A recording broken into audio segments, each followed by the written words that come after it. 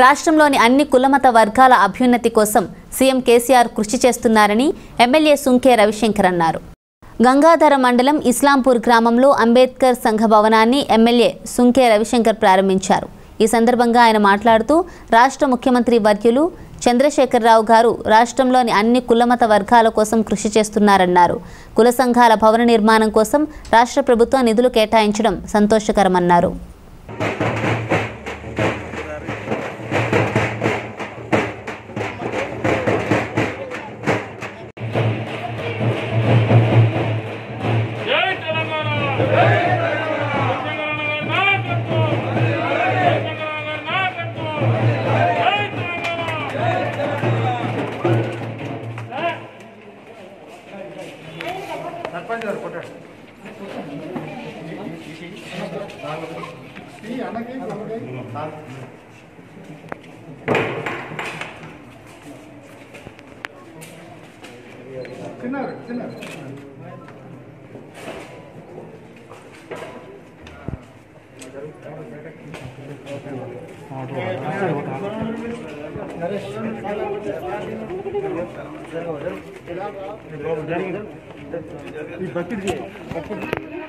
మన పిల్లగాళ్ళకు నాలుగు పుస్తకాలు ఉండాలి.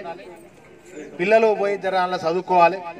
మన కులంలో ఉన్నటువంటి ఏదైనా మంచి వచ్చాడో మీటింగ్ సమావేశాలు పెట్టుకొని అప్పుడప్పుడు ఇలా కూర్చొని మాట్లాడుకోవాలి.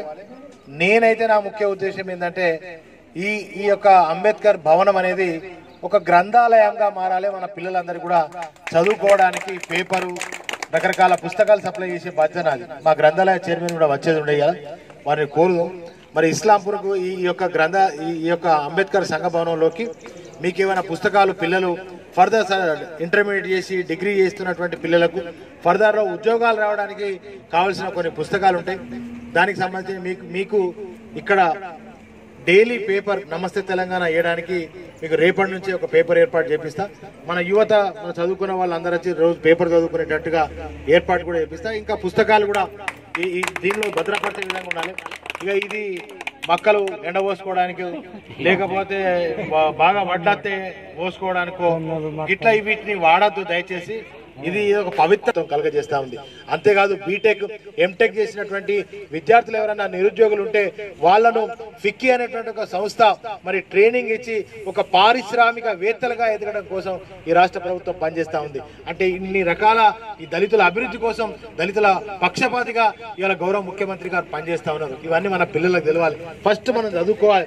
మరి అంబేద్కర్ గారు చదువుకున్నారు కనుకనే ప్రపంచానికి వెలిగించిండు ప్రపంచ వేయండు భారత రత్న అయిండు. మరి ఇవాళ మనందరికీ వెలుగైండు. మనకు ఇవాళ ఆ- ఆయన ఆశయాలకు అనుకూలంగా ఇవాళ రాష్ట్ర ప్రభుత్వం గౌరవ ముఖ్యమంత్రి గారు కూడా నడుస్- నడుస్తున్నారు కనుక మరి మనం ఈ ప్రభుత్వ ఫలాలను అందుకునేటట్టుగా ప్రభుత్వ సంక్షేమ పథకాలను మనం అందుకునేటట్టుగా కళ్యాణ లక్ష్మి అందరికి వస్తుంది పెన్షన్లు అందరికి వస్తాయి. కానీ మన పథకాలు డిఫరెంట్గా ఉన్నాయి. మన జాతి అభివృద్ధి కావడం కోసం ఈ ప్రభుత్వం కృషి చేస్తుంది కనుక తప్పకుండా వాటిని అన్నింటిని కూడా వాడుకోవాలి. అమ్మ మరి మరి వాటిని సద్వినియోగం చేసుకోవాలని చెప్పి కోరుకుంటూ ఇవాళ ఈ గ్రామానికి వస్తున్నప్పుడు నేను చాలా చాలా సంతోషం అనిపించింది. రాగానే కూడా సంతోష పెట్టేటట్టు సర్పంచ్ గారు పూలు వెళ్ళాడు మళ్ళా తప్పులు దప్పులు మా మా-